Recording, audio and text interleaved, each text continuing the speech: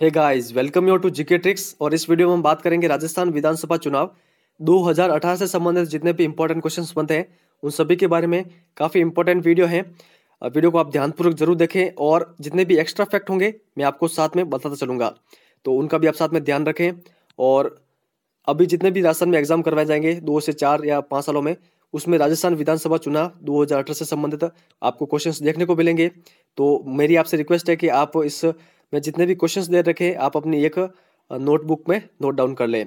और जो भी हमारे चैनल पर नए हैं, वो इसी तरह की वीडियो पाने के लिए हमारे चैनल को सब्सक्राइब कर सकते हैं और पास में आने वाले इस बेल आइकन को ज़रूर स्टार्ट करें ताकि इस तरह की वीडियो की नोटिफिकेशन आपको मिलती रहे। तो चलिए फ्रेंड शुरू करते हैं। फ़र्स्ट क्वेश्चन देखते हैं। हाल ही में राजस्थान में कौन से विधानसभा के चुनाव संपन्न हुए हैं? तो ये हुए हैं पंद्रहवीं विधानसभा के चुनाव। इंपॉर्टेंट क्वेश्चन इसका आप ध्यान रखें। हाल ही में पंद्रहवीं विधानसभा के चुनाव हुए हैं 2018 में।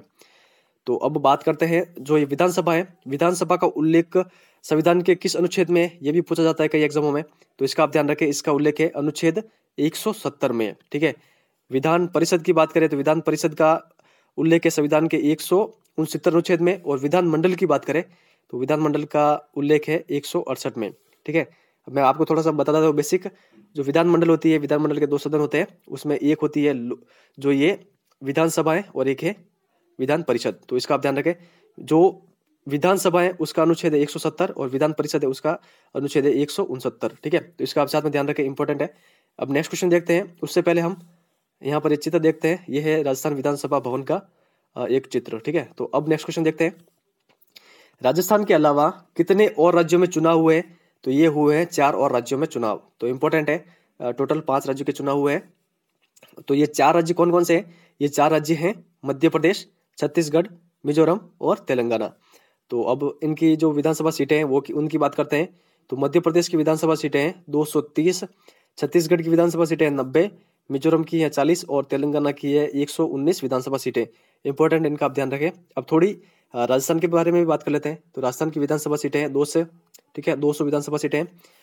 अगर बात करें लोकसभा सीटों की तो राजस्थान की लोकसभा सीटें हैं 25 और राज्यसभा सीटों की बात करें तो 10 ठीक है? तो इन सभी फैक्ट का याद रखें, विधानसभा सीटें हैं, लोकसभा सीटें और राज्यसभा सीटें राजस्थान की। अब नेक्स्ट क्वेश्चन क्यों चलते हैं। राजस्थान के नए मुख्यमंत्री कौन बने हैं? तो राजस्थान के नए मुख्यमंत्री बने हैं अशोक गहलोत, ठीक है? अशोक गहलोत राजस्थान के राजस्थान में तीसरी बार मुख्यमंत्री बने हैं। इंपॉर्टेंट इसका आप ध्यान रखें। इनसे पहले ये उन्नीस और 2008 में राजस्थान के मुख्यमंत्री बन चुके हैं और वर्तमान में 2018 में ये मुख्यमंत्री वापस बने हैं। तो इसका भी आप ध्यान रखें। अब थोड़ी बात करते हैं मुख्यमंत्री की। मुख्यमंत्री का उल्लेख अनुच्छेद किसमें है? संविधान के अनुच्छेद एक में। और राज्यपाल की बात करें तो राज्यपाल का उल्लेख है एक सौ तिरपन में। इंपॉर्टेंट है। इन फैक्ट को आप साथ में ध्यान रखें। अशोक गहलोत से संबंधित थोड़ा एक्स्ट्रा फैक्ट और है, वो हम नेक्स्ट वीडियो में डिस्कस करेंगे। तो वर्तमान में अशोक गहलोत हमारे सीएम है और उनका ये चित्र दे रखा है राजस्थान के, ठीक है? तो अब ये जो क्वेश्चन है फोर्थ नंबर ये है, अशोक गहलोत राजस्थान के कौन से वे निर्वाचित मुख्यमंत्री बने तो ये बने हैं बाईसवें निर्वाचित मुख्यमंत्री। इंपॉर्टेंट क्वेश्चन इसका भी आप ध्यान रखें। अगर ऑल ओवर की बात करें तो ये पच्चीसवें मुख्यमंत्री है और अगर एग्ज़ाम में पूछा जाए कि अशोक गहलोत राजस्थान के कौन से वे निर्वाचित मुख्यमंत्री है? तो ये है बाईसवें निर्वाचित मुख्यमंत्री। मुख्यमंत्री से संबंधित ये भी इंपॉर्टेंट फैक्ट है तो इसका भी आप साथ में ध्यान रखें। फ़र्स्ट सीएम कौन थे? तो ये थे हीरालाल शास्त्री, फ़र्स्ट निर्वाचित सीएम कौन थे? तो टीकालाल पालीवाल और, जो कि दोसा ज़िले से संबंधित है। और फ़र्स्ट मनोनीत और निर्वाचित जो ये कौन रहे थे? ठीक है, दोनों कौन रहे थे? ठीक है, मनोनीत और निर्वाचित मुख्यमंत्री कौन रहे थे? तो ये रहे थे जय नारायण व्यास। तो ये आप साथ में ध्यान रखें। इसका आप ज़रूर ध्यान रखें। अगर फ़र्स्ट मनोनीत की बात करें तो फ़र्स्ट मनोनीत है हीरालाल, नॉट की जय नारायण व्यास। ठीक है और फ़र्स्ट निर्वाचित की बात करें तो टीकालाल पालीवाल। अगर मनोनीत और निर्वाचित दोनों की बात करें कि ऐसे कौन से मुख्यमंत्री जो मनोनीत भी रहे और निर्वाचित भी रहे तो ये है जयनल व्यास ठीक है? और इसका आप साथ में ज़रूर ध्यान रखें, ये बाईसवें निर्वाचित मुख्यमंत्री अशोक गहलोत। नेक्स्ट क्वेश्चन दे रखा है, यहाँ पर कथनों पर विचार करना है कि कौन से कथन सत्य है। फ़र्स्ट कथन दे रखा है, कांग्रेस पार्टी को 99 विधानसभा सीटें प्राप्त हुई हैं, ये सही है। बीजेपी को 73 विधानसभा सीटें प्राप्त हुई हैं, ये भी सही है। और बीएसपी, यानी बहुजन समाजवादी पार्टी को नौ विधानसभा सीटें प्राप्त हुई हैं। तो तीनों के तीनों कथन करेक्ट है तो ये जितने भी सीटें हैं आपको ये याद होनी चाहिए। एक बार वापस बताता हूँ कि राजस्थान की विधानसभा जो सीटें हैं वो है 200 और इस बार जो चुनाव हुए हैं वो हुए हैं एक निन्यानवे विधानसभा सीटों पर। तो इस बार बहुमत के लिए हंड्रेड सीटें ही काफ़ी थी ठीक है? तो आ, लेकिन कांग्रेस को मिली है नाइन्टी नाइन विधानसभा सीटें। तो ऐसी कौन सी पार्टी है जिसने कांग्रेस को समर्थन दिया है? तो ये पार्टी है राष्ट्रीय लोकदल, ठीक है? आरएलडी, ठीक है? इसका आप ध्यान रखें, राष्ट्रीय लोकदल ने कांग्रेस को समर्थन दिया है। और इसके अगर फाउंडर की बात करें तो ये है अजीत सिंह, इस पार्टी के, ठीक है? अब इसका आप ज़रूर ध्यान रखना, ये काफ़ी इंपॉर्टेंट है कि कांग्रेस को किसने समर्थन दिया है, ठीक है? अब अगर क्वेश्चन ऐसे बनने कि, कांग्रेस को जो कुल मत हुए, उसमें कितने परसेंटेज वोट मिले हैं? तो ये मिले हैं thirty nine point three percentage BJP को मिले हैं। Thirty eight point eight percent और बीएसपी को मिले हैं फोर परसेंट। तो अब इनका चुनाव चिन्ह भी देख लेते हैं। तो इनके बारे में और इनके बारे में अधिकतर स्टूडेंट जानते हैं कि ये है कांग्रेस का और ये है भाजपा का चुनाव चिन्ह। लेकिन बीएसपी का लगभग कम ही जानते हैं, हाथी है, ठीक है? तो इसका आप ज़रूर ध्यान रखें। अब नेक्स्ट क्वेश्चन क्या चलते हैं?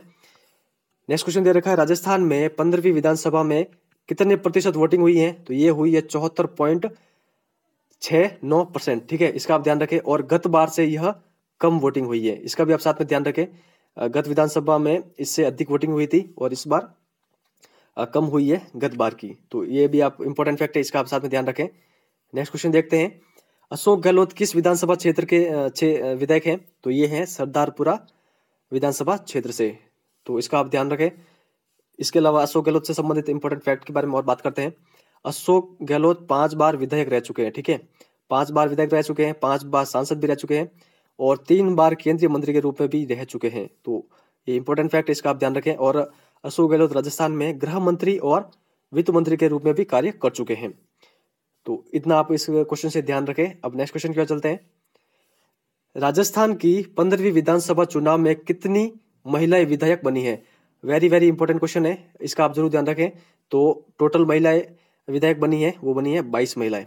ठीक है? इसमें कांग्रेस की जो विधायक महिला बनी है, वो है ग्यारह, बीजेपी की दस और आरएलपी आरएलपी की है केवल एक महिला विधायक, ठीक है?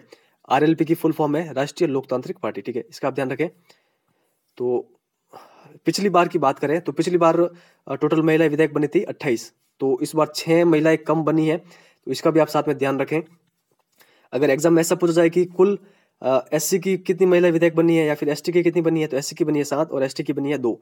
ये भी इंपॉर्टेंट फैक्ट है, इसका भी आप साथ में ध्यान रखें। नेक्स्ट क्वेश्चन दे रखा है, पंद्रहवीं विधान, जो पंद्रहवीं राजस्थान की विधानसभा दो हज़ार अठारह का सबसे युवा एमएलए कौन बना है? ठीक है, विधानसभा चुनाव का। तो ये रहे हैं राजकुमार रावत, ठीक है, और इनका संबंध है, जो विधानसभा क्षेत्र है चौरासी, जो कि डूंगरपुर में पड़ती है उन वहाँ से इनका संबंध है, और ये, इनकी उम्र है केवल 26 वर्ष। तो इम्पोर्टेंट है, इसका आप साथ में ध्यान रखें, सबसे युवा एमएलए हैं राजस्थान के, ठीक है? इस बार के जो चुनाव हुए हैं उसमें। और इनका संबंध किस पार्टी से है तो ये भी साथ में ध्यान रखें, भारतीय ट्राइबल पार्टी से। नेक्स्ट क्वेश्चन देखते हैं। पंद्रहवीं विधानसभा में सबसे कम मतों से विजयी उम्मीदवार कौन रहे हैं? तो ये भी आप ध्यान रखें, सबसे कम सर्वाधिक मतों से विजयी वाले, ठीक है? तो सबसे कम मतों से विजयी रहे हैं जाबर सिंह। और इनका संबंध है विधानसभा क्षेत्र असिंध विधानसभा क्षेत्र से, ठीक है? असिंध, भिलवाड़ा। नेक्स्ट क्वेश्चन दे रखा है, पंद्रहवीं विधानसभा में सर्वाधिक मतों से विजयी उम्मीदवार कौन रहे हैं? तो ये रहे हैं कैलाश मेघवाल। इंपॉर्टेंट है और इन्होंने चौहत्तर हज़ार वोटों से जीत दर्ज की है। और इनका संबंध किस विधानसभा क्षेत्र से है?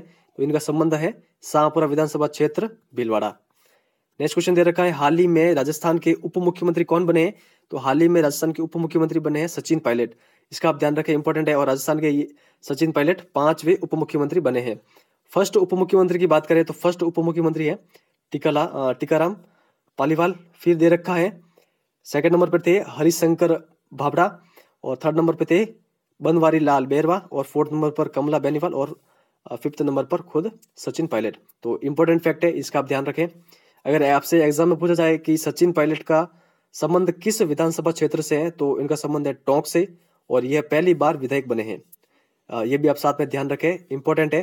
सचिन पायलट पहली बार विधायक बने हैं ये तो है ठीक है। लेकिन सचिन पायलट दो बार लोकसभा सांसद रह, रह चुके हैं ठीक है। दोसा और अजमेर में ठीक है अजमेर से। और दो बार केंद्रीय मंत्री भी रह चुके हैं ये भी आप साइड में ध्यान रखें। लेकिन विधायक पहली बार बने हैं ठीक है। तो ये है सचिन पायलट। नेक्स्ट क्वेश्चन दे रखा है राजस्थान के विधानसभा चुनाव 2018 हेतु नाम जो नामांकन दाखिल करवाने की अंतिम तिथि कौन सी थी? तो ये क्वेश्चन हाल ही में जो एग्ज़ाम करवाए गए राजस्थान में, राजस्थान असिस्टेंट इंजीनियर एग्ज़ाम उसमें पूछा गया था। इंपॉर्टेंट क्वेश्चन है, इसका आप ध्यान रखें। जो अंतिम तिथि थी, नामांकन की, वो थी 19 नवंबर। कौन सी थी? 19 नवंबर। इंपॉर्टेंट है, जो ये चुनाव से संबंधित दो क्वेश्चन पूछे गए थे असिस्टेंट इंजीनियर में तो इनका आप ज़रूर ध्यान रखें। एक क्वेश्चन पूछा गया था कि राजस्थान के चुनाव आयुक्त कौन है तो वो हम आगे देखेंगे। नेक्स्ट क्वेश्चन दे रखा है, राजस्थान के मुख्यमंत्री और उप मुख्यमंत्री का शपथ ग्रहण समारोह कहाँ पर आयोजित करवाया गया? तो ये आयोजित करवाया गया यहाँ पर, ठीक है? अब ये कौन सा स्थान है? तो ये स्थान है अल्बर्ट म्यूज़ियम, जयपुर। इसका आप ज़रूर ध्यान रखें इंपॉर्टेंट है, अल्बर्ट म्यूज़ियम, जयपुर। तो ये है इस अल्बर्ट म्यूज़ियम, जयपुर का एक दृश्य। नेक्स्ट क्वेश्चन देखते हैं। नेक्स्ट क्वेश्चन दे रखा है, राजस्थान के किस ज़िले में सबसे अधिक वोटिंग हुई है? तो राजस्थान के सबसे अधिक वोटिंग हुई है जैसलमेर ज़िले में। इंपॉर्टेंट है, साथ में आप इसका ध्यान रखें। साथ में इसका भी आप ध्यान रखें कि सबसे कम वोटिंग किस ज़िले में हुई है? तो सबसे कम वोटिंग हुई है पाली ज़िले में। सर्वाधिक का पूछे तो जैसलमेर और कम का पूछे तो पाली ज़िले में सबसे कम वोटिंग हुई है। चलिए अब नेक्स्ट क्वेश्चन की ओर चलते हैं। नेक्स्ट क्वेश्चन दे रखा है, राजस्थान विधानसभा में एससी और एसटी के लिए क्रमशः कितनी सीटें आरक्षित हैं? इंपॉर्टेंट क्वेश्चन इसका आप ध्यान रखें। तो तो एससी के लिए जो सीटें आरक्षित हैं, वो है चौतीस। और एसटी के लिए जो सीटें आरक्षित हैं, वो है पच्चीस सीटें। और वर्तमान में इतने ही विधेयक एससी और एसटी के लिए चुने गए हैं। तो इसका आप साथ में ध्यान रखें। इंपॉर्टेंट है, चौतीस और पच्चीस सीटें। एससी की चौतीस है और एसटी की है पच्चीस। नेक्स्ट क्वेश्चन देखते हैं। राजस्थान विधानसभा चुनाव 2018 में किस विधानसभा सीट पर पुनर्मतदान करवाया गया? इंपॉर्टेंट क्वेश्चन इसका आप ध्यान रखें। तो ये है करणपुर विधानसभा सीट पर। और ये किस ज़िले में पड़ती है? ये पड़ती है श्री गंगानगर ज़िले में। यहाँ पर ऐसा हुआ था कि जो पीठासीन अधिकारी थे, उनके द्वारा मोक पोल के वोट को डिलीट किए बिना ही यहाँ मतदान करवा दिया गया। तो वो गलत मिस्टेक हो गई थी, इसके कारण वापस मतदान कराना पड़ा। तो आपको बस इतना ध्यान रखना है कि ये जो विधानसभा सीट है जो इस पर पुनर्मतदान करवाया गया, ये कौन सी है और किस ज़िले में पड़ती है? नेक्स्ट क्वेश्चन दे रखा है, पंद्रहवीं विधानसभा चुनाव में कुल कितने प्रत्याशियों ने भाग लिया था? इंपॉर्टेंट क्वेश्चन इसका भी आप ध्यान रखें। तो दो हज़ार दो सौ चौहत्तर प्रत्याशियों ने इसमें भाग लिया था, ठीक है? और महिला प्रत्याशियों की बात करें तो एक सौ महिला प्रत्याशियों ने भाग लिया था, जिसमें बाईस महिलाएँ विधायक बनी है, ठीक है? विजयी रही है। उसमें से कांग्रेस की बात करें, आगे हम बात कर चुके हैं, वापस बता देता हूँ। कांग्रेस को कांग्रेस की महिला विधायक बनी है ग्यारह, बीजेपी की बनी है दस और एक बनी है जो अपनी थी वो party, R L R L P, ठीक है? यानी राष्ट्रीय लोकतांत्रिक पार्टी की एक महिला विधायक बनी है। ये भी आप ध्यान रखें इंपॉर्टेंट है। अब नेक्स्ट क्वेश्चन क्यों चलते हैं। राजस्थान के मुख्य चुनाव अधिकारी कौन है? तो ये है आनंद कुमार।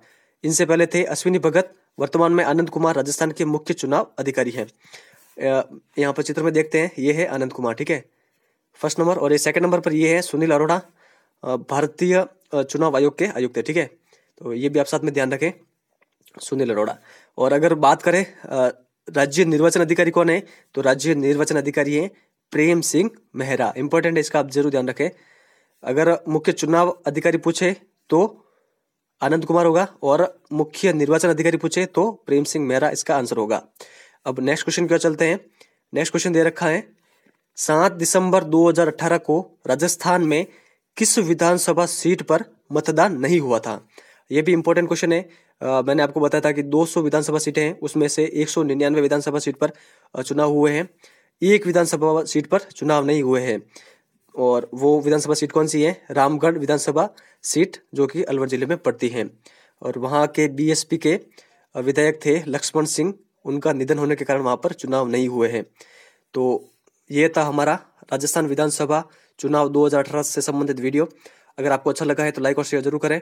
और अभी तक आपने हमारे चैनल को सब्सक्राइब नहीं किया है तो सब्सक्राइब ज़रूर कर लें और इसी तरह के वीडियो पाने के लिए आप बेल आइकन को प्रेस कर दें ताकि आपको नोटिफिकेशन समय पर मिलती रहें। तो इस वीडियो में बस इतना ही है और वीडियो की पीडीएफ आपको वीडियो की डिस्क्रिप्शन में मिल जाएगी, ठीक है? और टेलीग्राम चैनल पर भी आपको जितने भी अदर वीडियोज़ की पीडीएफ वहाँ पर आपको मिल जाएगी। तो इस वीडियो में बस इतना ही है। Thank you thank you very much for discussion